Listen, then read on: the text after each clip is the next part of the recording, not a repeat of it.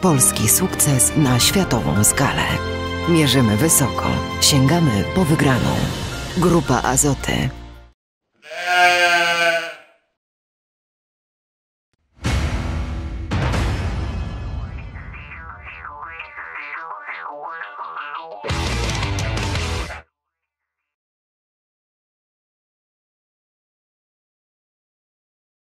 Kolejne skoki w turnieju czterech skoczni i jest jakaś satysfakcja, czy znowu raczej rozczarowanie?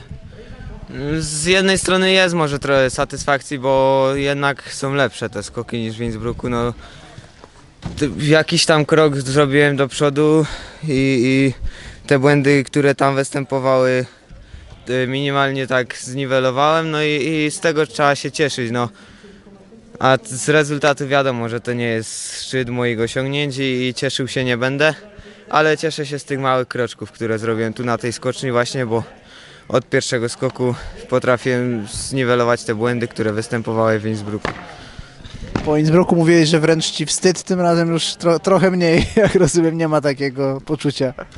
Nie no, tam byłem pod wpływem emocji, dziś to trochę bardziej na spokojniej przyjąłem, bo też znalazłem jakiś pozytyw tych skoków tutaj i, i, i z tego się cieszę, no.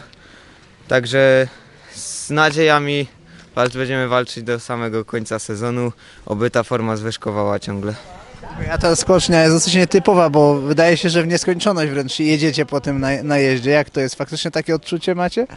No ona taka jest i odczucie też takie jest i, i, i no jest taka, ja tu pierwszy raz skakałem w sumie, nigdy tu wcześniej nie byłem i, i ale od razu się mi jakoś dużo bardziej się mi spodobała jak ta tam w tym Innsbrucku, bo to, to jej nienawidzę. A myślami jesteś już przy konkursach polskich, czy na przykład chciałbyś polatać na mamucie?